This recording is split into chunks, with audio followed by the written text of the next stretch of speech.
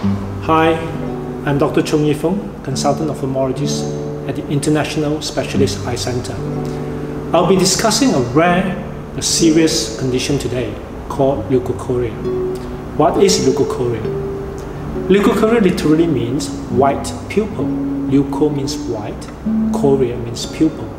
It occurs when the pupil, in other words, the round hole at the center of the colored part of the eye, is white rather than the usual black. It is important to diagnose this condition in infants and young children as it may signify a serious eye condition which may cause blindness and in rare cases may even be life-threatening. In more obvious cases of the pupil appearing white on casual observation, it is easy to detect. In other situations, the pupil may only appear white in certain circumstances. For example, when the pupil becomes larger in a darkened room. Sometimes leukocoria is detected from photographs when one pupil has an abnormal or white reflex compared to the other eye having a normal red reflex. Therefore, an absent normal red reflex in one eye should alert the parents of the child to seek an assessment by their ophthalmologist or an eye specialist.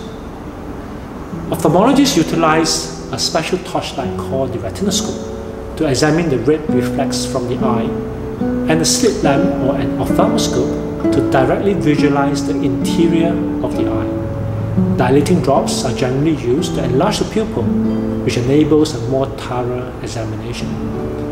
Many conditions cause leukocoria, including cataract, retinal detachment, retinopathy of prematurity, a condition affecting premature infant, retinal malformation, intraocular infection, retinal vascular abnormality, and in rare instances, intraocular tumor or cancer called retinoblastoma.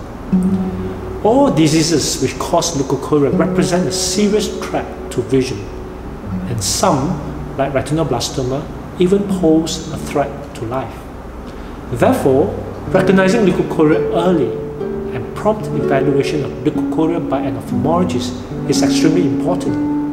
In many countries, infants have eye assessment a few days after birth to screen out abnormal eye conditions such as leukocoria. However, this screening is not always done in Malaysia, and therefore vigilance on the part of the parents is crucial. Management of leukocoria involves treatment of the underlying condition responsible for the white appearing pupil. For example, if it's due to cataract, cataract surgery and lens implant may be performed.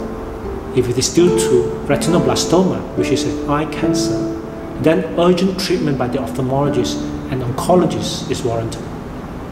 In conclusion, due to the potential seriousness of leukocoria, any observation of a white pupil or, that, or an abnormal red reflex in a child should prompt an urgent consultation and assessment with an eye specialist. I hope you find this video helpful and thank you for watching.